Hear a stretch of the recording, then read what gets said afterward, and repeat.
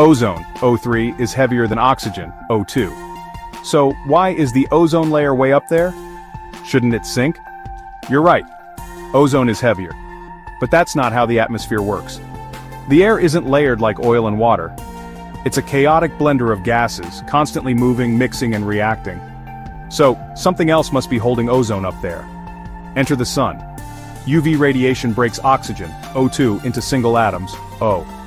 Those atoms crash into more O2 and form ozone, O3. Boom, the ozone layer.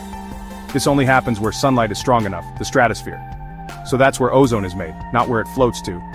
It's born up there, and destroyed up there too. UV hits ozone, splits it.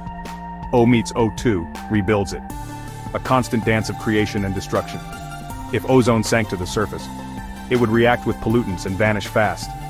And without it above us, we'd all get cooked by ultraviolet rays, yikes.